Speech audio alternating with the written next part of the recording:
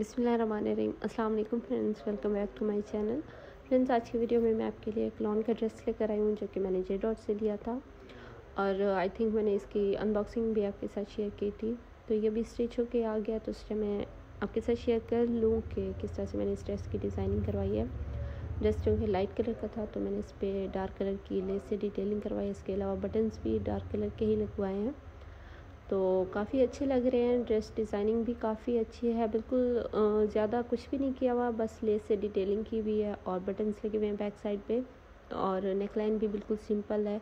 इसके अलावा बटे पे मैंने टसल्स लगवाए हुए हैं जो कि मार्केट में इजीली अवेलेबल हैं। इसके अलावा जो ट्राउज़र है लॉन्ग शर्ट थी उसके साथ मैंने लूज़ ट्राउज़र बनवाया है जो कि बहुत ही प्यारा लग रहा है पहने हुए बहुत अच्छा लग, लगता है।